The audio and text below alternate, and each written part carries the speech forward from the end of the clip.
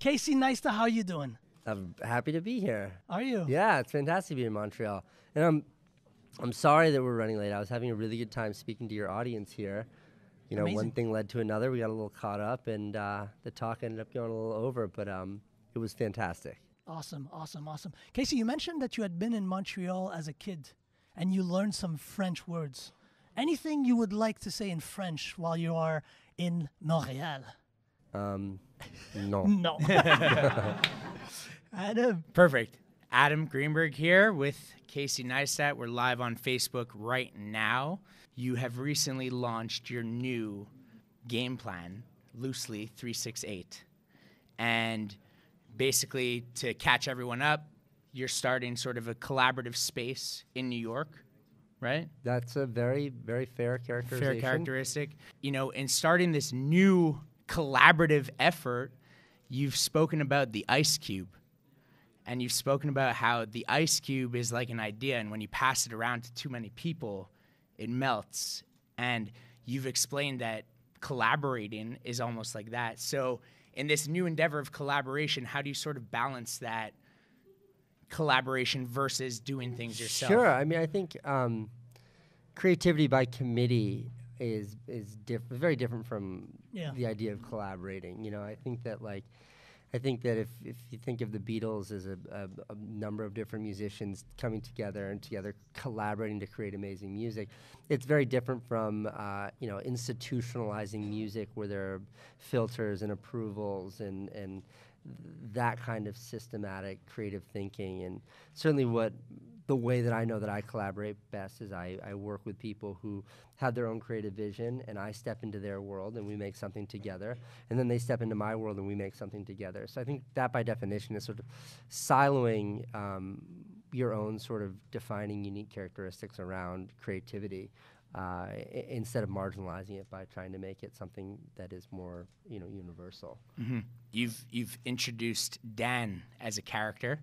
He's right, he's right there with the camera. He's like, what? what? Um, so in collaborating with him now on 368, what is sort of the thing, you know, and you've outlined it in your vlog, but what is the thing that you haven't mentioned yet in your two or three vlogs that you've posted about 368? What is the thing that you guys are really most excited for? Yep. Well, I mean, I think I think Dan's a really good example. I think Dan and I have you know worked together for uh, we've known each other for years, and we've worked together in a bunch of movies together. But he has his own specific style. Um, he has his own channel. He has his own you know little universe of creativity. And when I help him on his movies, I'm stepping into that world, and when he helps me on mine, he's stepping into to, to mine. So the thing that I'm most excited about when it comes to 368, especially the physical space, is that if you can if you can provide the resources that enable that kind of creative overlap, I think that the possibilities are, are really um, they go on and on.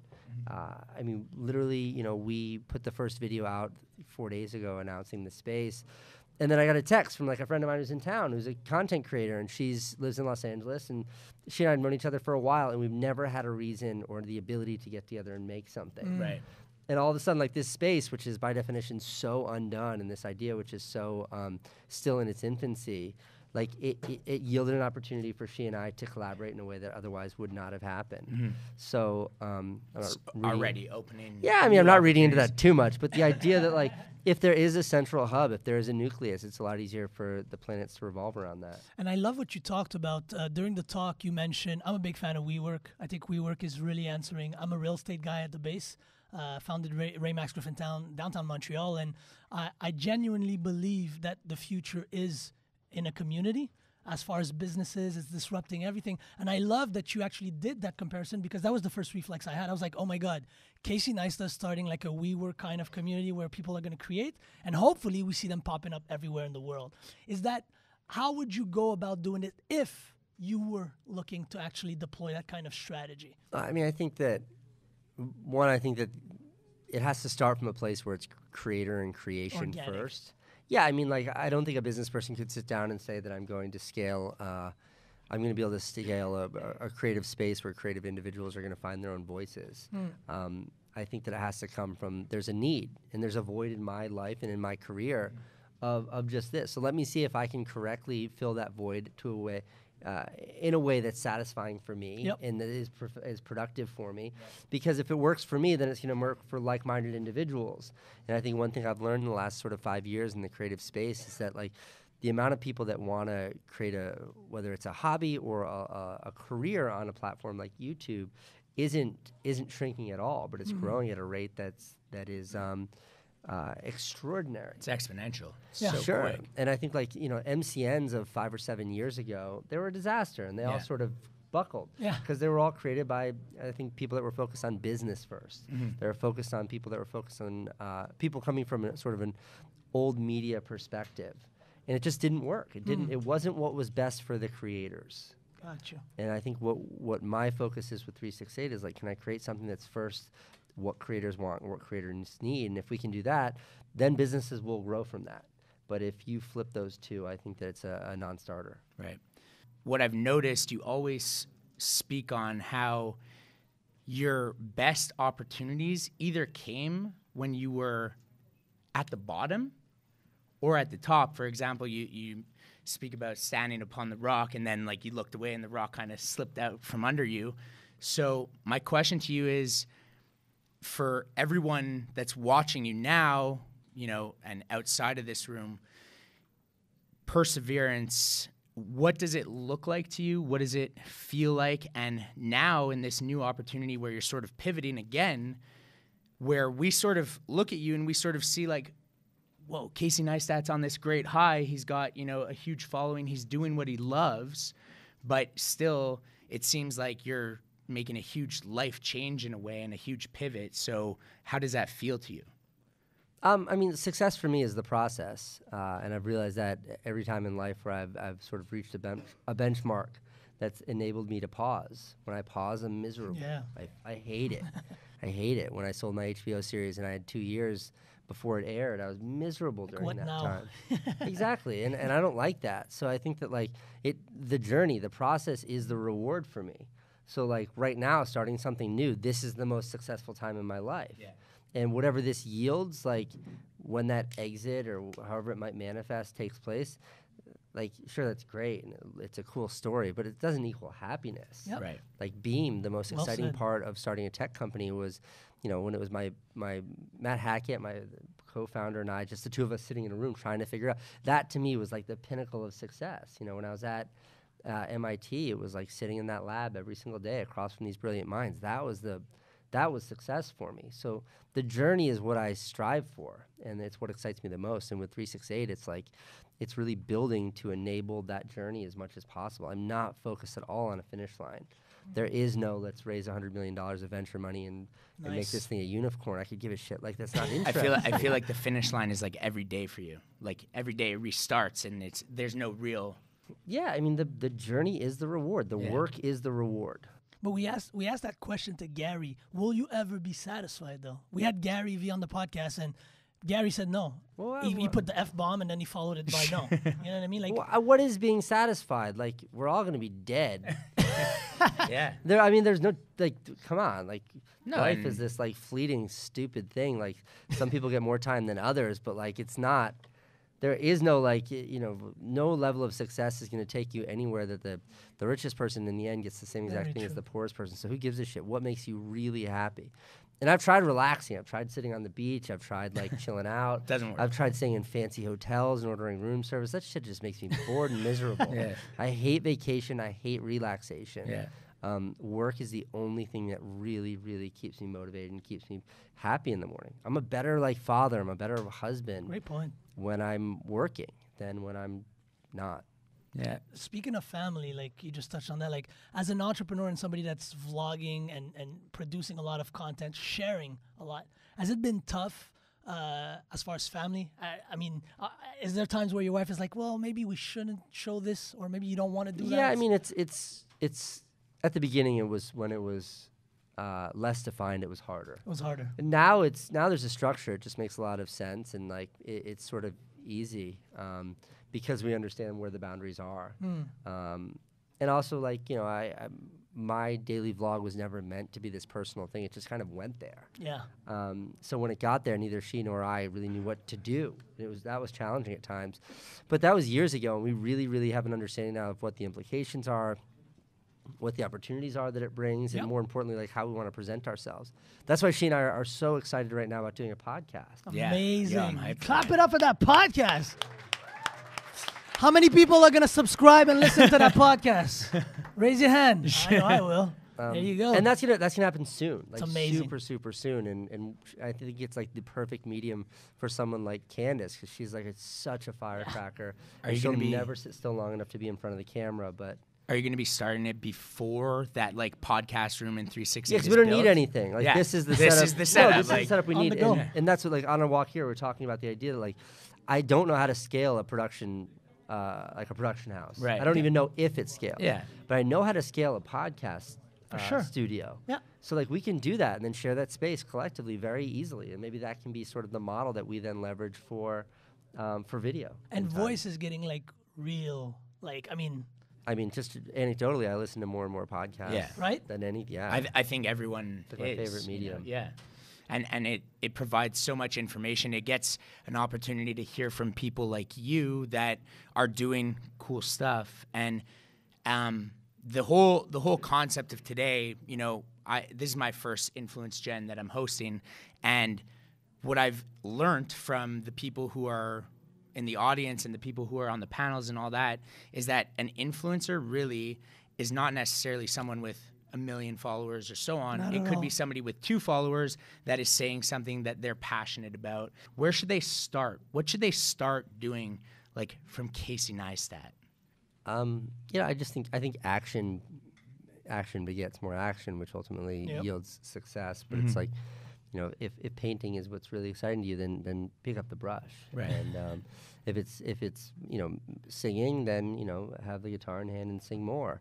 Uh, so I think no matter what your medium is, I, I think it's it's the act of doing that really uh, that really kind of paves that road. Yeah. I know, like for me, the most exciting part of, of making a daily video when I started in 2015 was like how much better I got. So I learned more in the first year of vlogging than I learned in the 15 years prior of making videos. Right. It's just when you're when you're Starting when you're acting that much, when there's that much action, uh, it just you learn so much about not just the medium but yourself and everything else. It's like, what is it? It's it vision without vision without execution is hallucination. Like Mhm. Absolutely. that is yeah. that is the truth. And that kind of good segue, you know, in, in a lot of your videos, you provide motivational quotes from a lot of like major people. Whether you like it or not, you are one of those major people for a lot of people. So while Influence Orbis is putting together the video of this day and like the highlight reel and things are flying by and whatever, what's like the Casey Neistat motivational quote that they should put on the video? Oh God. Yeah. Um, Casey motivational yeah, yeah. quote you they know, should like, put on. like, Casey Neistat, you know, like. um, eat eat more pout. How do you say it? Poutine. Poutine. Eat more poutine? yeah, I think eat more gonna be it. poutine. all all bold, all caps, exclamation J- point. just say it clearly one time so they could how, do, how do I say it again? eat more poutine. Poutine. It's poutine. Voila, Poutine. Poutine. Pout- poutine. And guys, we're gonna take like we only have time for like two, three questions. I know Anna had a question. So Anna, uh, okay, she's not ready, but somebody else, another question. Is there any footage Yeah, from I didn't climb Aconcagua? Aconcagua with my brother. I climbed Aconcagua with my friend Graham, and there's a shitload of footage from up there. um, I think I put some of it into that video I made about the climb. It's called like "The Day I Almost Died." Have you seen that video? Yeah.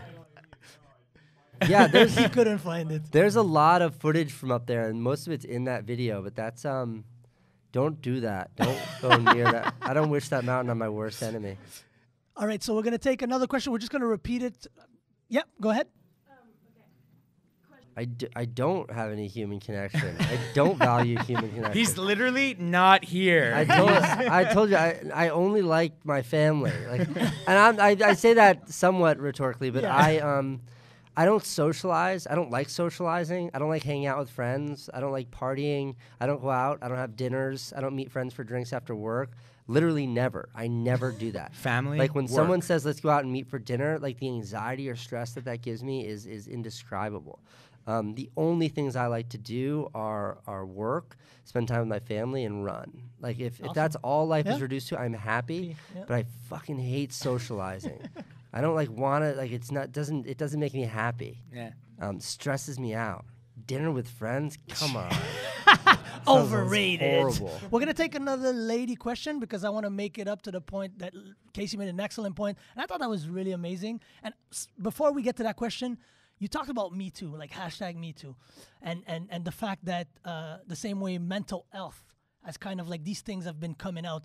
Uh, you are from the video industry and the world of. How did you react when you started to see like a lot of people that are, you know, some of them were creators, and like, what was your reflex when you saw some of these people? Uh, you Oh, know, from the Me Too movement. yeah, from the like Oh, getting no. I mean, I. I've been in the, I was in the sort of the mainstream uh, m- media world long enough to know that it's filled up with a lot of scumbags. But no, I mean it. Like I, my, you know, my wife was once like an extraordinarily beautiful twenty-something who lived in New York City. Like I, I, she tells me plenty of stories of what it's like to have, Yeah. you know, powerful people sort of uh, take advantage. So no, none of it was a surprise. It was just, and what I was talking about on that stage was that I think it's absolutely wonderful that Yeah. social media is giving an opportunity to raise these issues that otherwise are so easy to be buried. Very And true. certainly mental health is one of those, and, and there's any number of them. And I- think that social media gets shit on a lot, probably fairly so, but there are virtuous aspects of it as well. And, and when I think of the kind of exposure that it shines on, on things like mental health um, and things like equality, uh, I think we're all reminded that it does have a, lot of power for good as well. awesome. Want to take a lady question once more? Yeah. Got someone hiding. Yep. Come in the front. Let's go. So my question is about brand safety. Like, what do you think? Like, how Brand safety. Okay. Adpocalypse, yeah. No, h- how did brand how did brand sa- safety change after Adpocalypse? I, I think it's very challenging from a creator's perspective as to how it changed. I think from a platform's perspective, it necessarily forced the hand for them to really establish uh, a methodology, um, both technologically and, and socially, for uh, being able to seek out, find content, pair content with uh, the advertisers. So there's sort of a, a symbiotic, mutually beneficial relationship. From a creator perspective, I think it created a lot of frustration. Um, and I think that frustration is largely stemmed from the, the lack of clarity. Um, you know, everybody's creating something, especially if they are, are making a living or aspire to making a living. They want to be paid as much as possible for, for their hard work. Yeah. Um, and when there's sort of nebulous guidelines or, or ill defined parameters as to how to achieve that, I think it, it is frustrating. So I, I think it's a very, very challenging um, problem to address when you have a sort of open platform like YouTube um, where anybody can post anything. Um, and ostensibly or, or theoretically, everyone should be able to monetize that content. So I think it's a huge problem. I think we've seen less solutions than we have seen confusion. But hopefully, in time, uh, there will be clarity because um, uh, I, I think that it's where eyeballs are and will it, where they will continue to be. So uh, brands will need to figure out a way to safely uh, reach people. And you mentioned YouTube. Just I want to. Um, you, you talked about uh, like recently what happened at the YouTube offices. Um, what, what's what's your perspective? I, I, I mean, I think it's but- shitty. I, th- I think Yeah. that I think that what's shitty about the the the attack shooting at the, at YouTube, shooting at the YouTube offices is that there were a lot of uh, comments online that Yeah. about policy, um, and it's like this. It's not about policy. Like that that woman was just a fucking homicidal murderer, um, going there intent on hurting people, uh, and it had nothing to do with policy. Um, if you're upset over policy, whether it's the fact that you don't feel like you're getting the attention you deserve on a platform like YouTube, or the fact that McDonald's took the double cheeseburger off the dollar menu, you have a number of ways of venting those frustrations. Absolutely. But to sort of equivocate Yeah. uh, that kind of frustration with uh, violence, I think is really gross and, and wildly unnecessary. I think that was nothing more than the case of, of a violent, violent, horrible individual intent on doing harm. Um, and, and had very little to do with anything else, agree. and it had nothing to do with anything that was in the control uh, within the control of a company like YouTube. I agree. we spoke to the creator and the, the person who's maybe looking to work on their personal brand and stuff. On the flip side, there are a lot of old school brands um, that have sort of like a dinosaur mentality when it comes to social media Oh, yeah. and and new school marketing. And you being one of the disruptors in that area, you know, you've mentioned uh, you mentioned in your keynote Nike and and how you weren't even wearing anything that was Nike. That's amazing. Um, what what sort of message do you have to the guys at the top, let's say, that are scared to evolve and they're hesitating because they're used to what works for them? I mean, look, I think Nike is the Nike has one of the strongest brands in the world because they're willing to take chances on a video like that. And the reason why someone like myself works well with a Nike, a company like Nike, is because like it's about an ethos uh, as much as it's about a product. Um, which is to say that it's very little about the product. Um, you know, I, I think uh, Apple computers, like their commercials are never about their products or Yeah, their products that's so features. They're about an idea. And my philosophy on branding and marketing as a whole is like, if you sell the idea, people will invariably buy the product. Um, so um, all the marketing that I do is always about ideas. It's never about products. Uh, but uh, I think that ultimately, if brands want to connect with individuals, they want to connect with people. If they want to sell more of whatever it is that they sell, they have to find a way to get in front of people. Very true. And as eyeballs turn away from really safe, controlled places like network television and they go to much more volatile places like live streaming and, and YouTube and places like that, um, I, I- think that you know brands are necessarily just gonna have to figure out how to navigate those waters. Um, I don't have anything, you know, I don't have anything super interesting to say there. Like, I, I understand. Uh, I understand the cautiousness on the brand's part. I sure. really, really do, and I think it costs them. I think they're losing market share Yeah. because of that cautiousness. But like you, you know, the a lot of brands don't want to be associated or take that kind of risk, and I, I, I could never fault them for that. No, I could for never sure. fault them for that. If you sell laundry detergent and you want You moms want- to buy laundry detergent, no, I mean it. No, why take sure. a chance that you might show up Yeah. in front of a really risque video or something that's racially motivated? Yeah. Like, why take that chance? Why be hedgy? That's that's exactly right. But I think that I think that it's going to be interesting um, what we see in the next five to ten years when when us the viewers have like true agency over what we watch. Casey, we, we thank you for being with us. Yes. Uh, but you think I'm gonna make my flight?